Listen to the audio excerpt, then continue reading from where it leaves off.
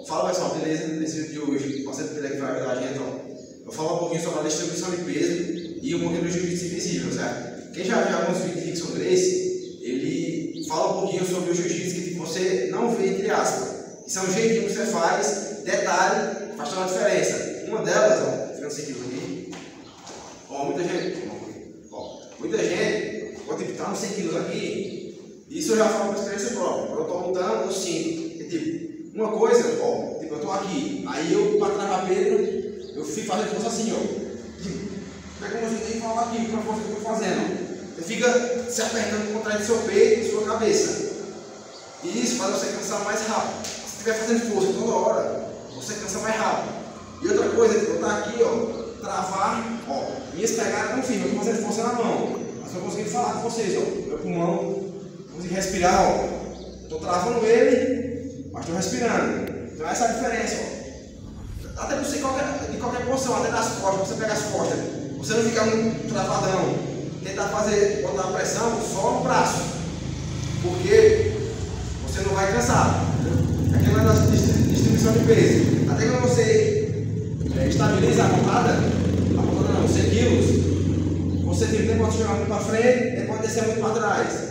Eu gosto de sempre deixar o, o peso em cima do peito dele usar o do joelho aqui atrás como uma base, certo? Posso até ficar aqui, ó, tipo, joga aqui, aí eu tô com a força nos dois pés, eu tô com o apoio nos dois pés lá, mas eu tô pensando peito dela aqui, ó, entendeu? Eu tô fazendo força, eu tô usando meu peso.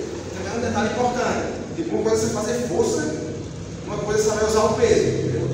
Então, nesse lance de, de mobilizar, você trava com a mão, eu estou usando o peso do meu corpo, eu não estou usando força quero empurrar ele para o chão, amassar ele para o chão. Eu estou usando meu próprio peso, quando eu estico aqui, ó. Eu estou usando meu próprio peso no peito dele. Certo? Então esse é um detalhezinho importante. Outro, que muita, até aqui na minha guarda. Quando o cara está aqui na minha guarda, você tipo. É uma coisa que eu até já falei no, no treino uma vez para uns colegas de treino, que tipo, você não pode querer ficar muito assim, ó. Eu quero você entrar, tem o no meu quadril tem que jogar o peso para trás e saber distribuir o peso. Fazer um postura, posso sentar até o calcanhar.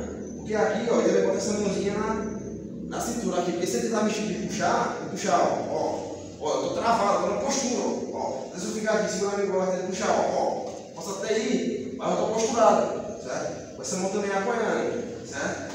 Também um detalhezinho. Aqui já vai para quem de marrom para cima, que gosta de pegar leg lock, chave pé. Se eu deixar minha, minha perna aqui no chão, eu posso puxar e meter uma 50 50. Aí já fica ruim para mim. Aqui. Entendeu? Então quando eu estou aqui na meia, pode fazer o que? Trava aqui e cruzo. E na base fechada aqui, ó. Porque aí se tentar puxar minha perna, a outra, a outra fica um gancho. Ó, não deixa. Eu já defendo essa, esse investido dele para 50 50.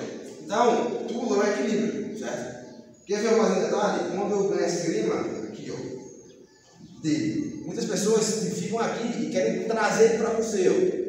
Aí você gasta força. Aquele que eu falei lá, saber distribuir seu peso e não usar toda a sua força para você não alcançar rápido. Se eu ficar aqui tentando trazer peso para cima de mim, ó, eu estou fazendo força. Daqui até minha voz muda. Agora se eu esgrimar aqui e ó, jogo, fico quase um tripé.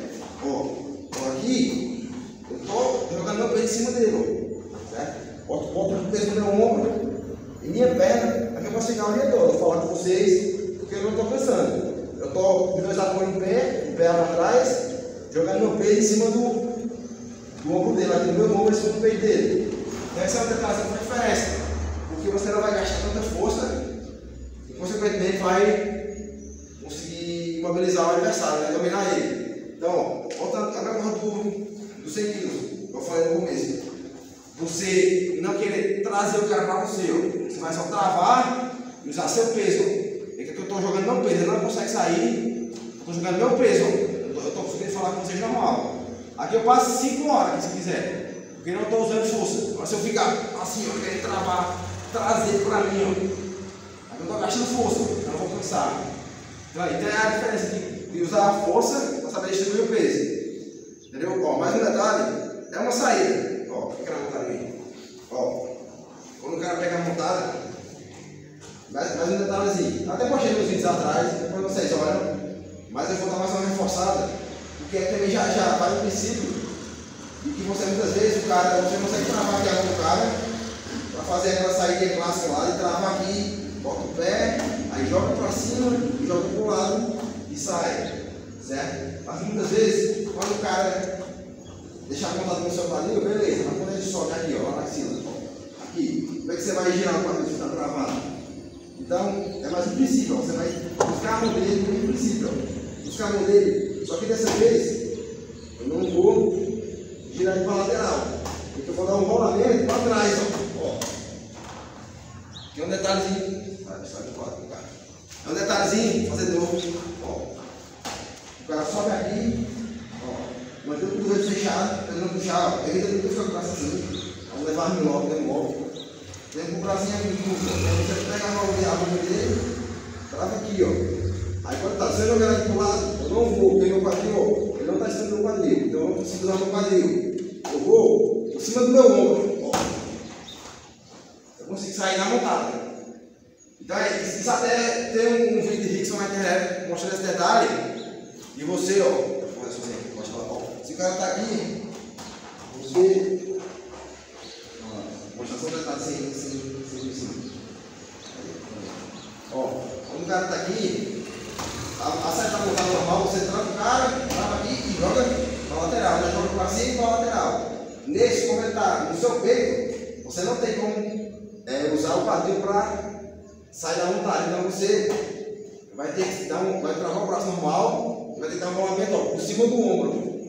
Porque aí você não vai encontrar a perna travando seu quadril. A perna dele travando aqui, você faz o, giro e já cai a montada travando ali, saindo do golpe. Então, são só uns detalhes que se você se atentar, você não gasta tanta energia. Porque muitas vezes vocês veem o cara treinando, tipo, faz uma de 6 minutos, 10 minutos, assim, cansa, mas não cansa tanto como você. Porque ele sabe as horas de usar a força, sabe distribuir o peso, não gasta a força à toa, tentando travar a porção à toa.